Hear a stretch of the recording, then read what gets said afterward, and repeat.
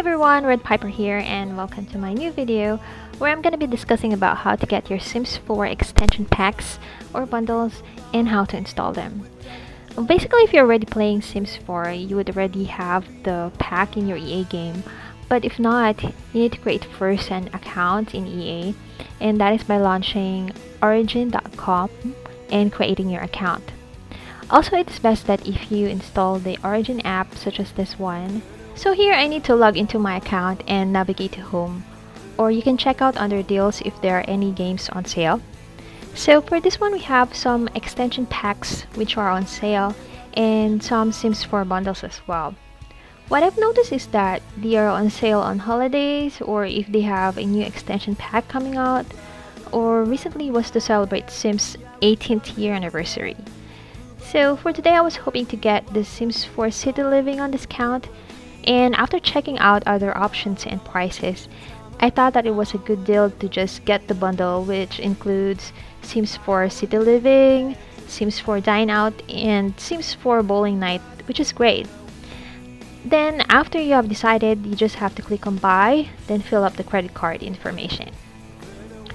And now finally, after I've paid and bought the bundle, which is now on my screen, um, there is an instruction to download the packs in Origin.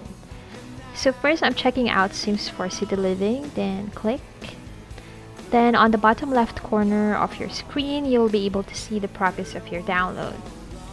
Then now I can see the orange circle there pointing to the download manager, which probably means my download is done.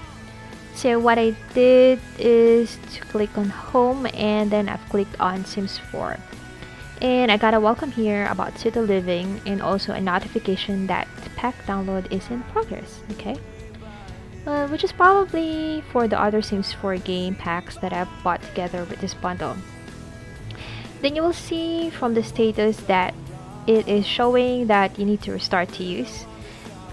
Okay so after launching the game you will see that is now changed to owned and you can finally explore well, the best way to check if the extension pack or the packs are in place is by going to the build mode like this one and filter the objects by extension packs and see the objects that you already have. So that's it. And I hope you enjoyed the video, so subscribe to our channel for more Sims 4 videos. Bye!